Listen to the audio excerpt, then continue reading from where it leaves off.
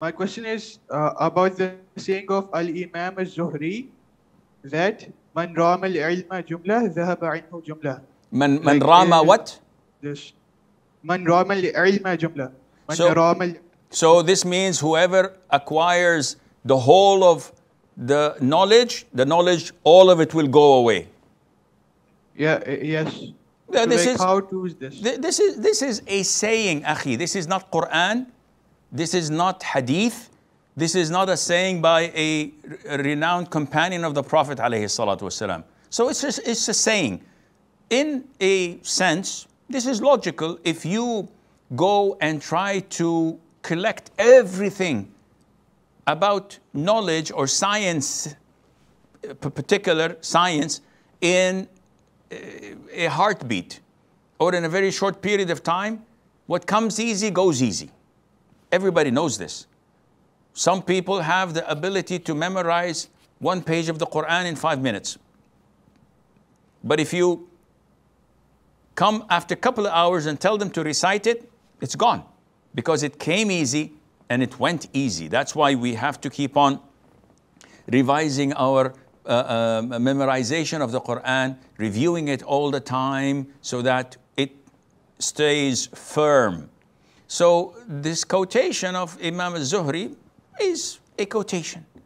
It should not deter us from acquiring knowledge, but it should open our eyes that we should be systematic, we should not rush things because what comes easy goes easy, and that we have to be consistent.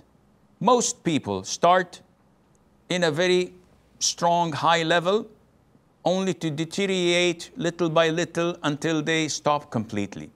And you find this in the hadith of the Prophet ﷺ, إِنَّ لِكُلِّ عَمَلٍ شِرَّةٍ وَإِنَّ لِكُلِّ شِرَّةٍ فَتْرَةٍ Every single deed has a peak, and every peak has a down uh, uh, fall or uh, uh, a bottom to it.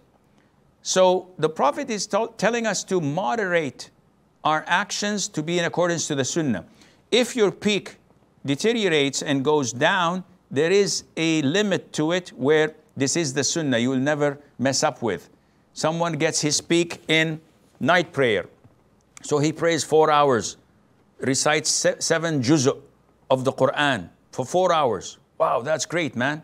Then he deteriorates to three hours, two hours, one hour, five minutes. Then he skips Fajr prayer. He doesn't pray Fajr on time. Okay, now this guy has gone astray.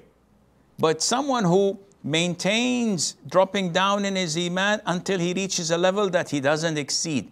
So he prays three rak'ahs of witr before Fajr, then he prays Fajr on time, he goes to sleep. He's, he's okay. So this is what is meant. When you go, you have to be consistent. Don't go for six hours attending six lectures and listening to uh, uh, podcasts and uh, uh, writing things and reading books. And after a couple of months, you completely leave everything and start playing PlayStation or, or FIFA. No, this is not the right thing to do, and Allah Azza wa Jal knows best.